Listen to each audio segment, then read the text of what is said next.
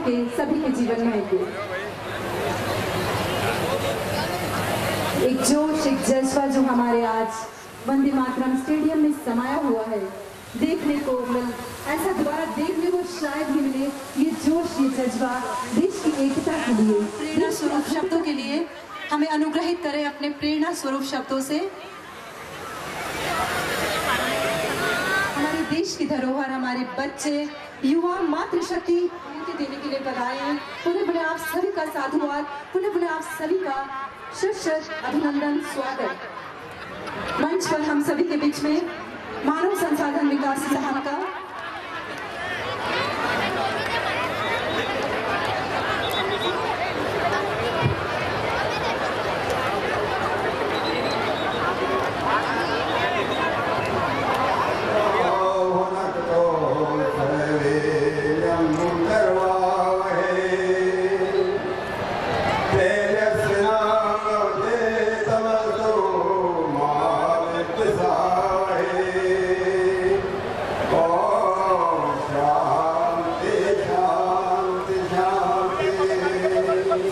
इस बहुत ही सम्मान्य मंच हमारे मित्र समाज के संत समाज के सभी आदरणीय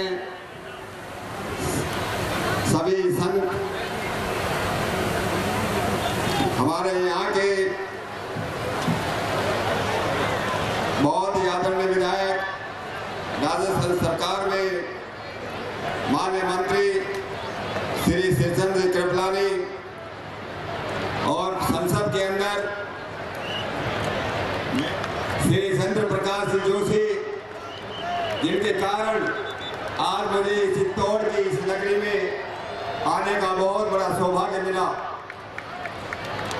हमारे सभी सम्मान्य विधायक, श्री अर्जुन जी, जीतनगर, श्री चंद्रभान सिंह जी, श्री गौतम जी तक, श्री सुरेश धाकड़ जी, श्रीमती जी जाट, श्री महावीर जपलोन जी, लक्ष्मी जी एयरपोर्ट से आज रिसीव किया, आदरणीय श्री रतन जी गाडरे, विचार परिवार के सभी आदरणीय लोग, समाज संरक्षक मंडल सदस्य, प्रशासन के और पुलिस के सभी अधिकारी, छात्र और छात्राओं और हमारे सभी आसपास के इलाके के सभी सम्मानीय गण और मेरे मीडिया के मित्रों, सबसे पहले मैं आप सभी लोगों का इतना विशाल जो आप लोगों ने यहाँ पर एक कार्यक्रम रखा है, एक तरह से मुझे लगता है, जैसा इस देश के अंदर दोबारा, जैसे आज़ादी के दिनों में, जिस समय आज़ादी का आंदोलन इस देश के अंदर चल रहा था, जिस प्रसार से क्रांतिकारी लोग इस देश की आज़ादी के लिए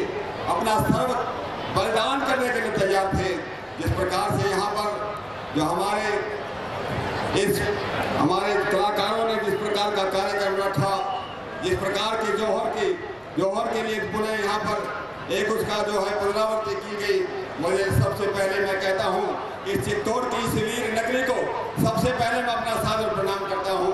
इस महाराणा प्रताप की इस नगरी को, महाराणा प्रताप की इस भूमि को मैं अपना सादर प्रणाम करता हूँ। उस माता को, उस मीना बहन को और इन सबको मैं, इस धरती को, इस भूमि को, ये मेरा सौभाग्य है, मुझे आने का यहाँ मौका मिला। इसलिए आप सबके सामने मैं सादर प्रणाम करता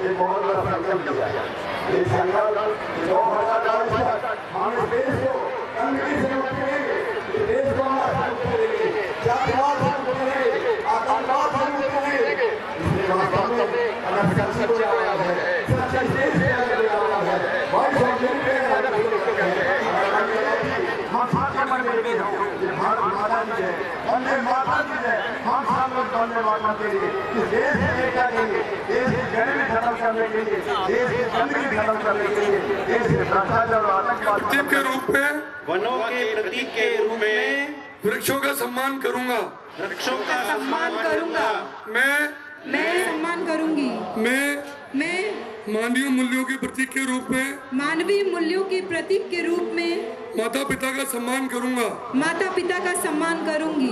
मैं मैं शिक्षण के प्रतीक के रूप में शिक्षण के प्रतीक के रूप में शिक्षकों का सम्मान करूँगा। शिक्षकों का सम्मान करूँगा नारी का सम्मान करूँगा मैं भारत माता के प्रतीक के रूप में योद्धाओं का सम्मान करूँगा भारत माता की मीत हमारा जिसे नहीं है, यह मंत्र प्यारा, उसके संग कैसे हो गुजारा? जो तिरंगे के लिए सर से कफन बांधे रहे। उन शहीदों का अमर गान है वंदे मातरम। सर फरोशों के लहू का मान है वंदे मातरम। और दास्ता से मुक्ति का अभिमान है वंदे मातरम। जो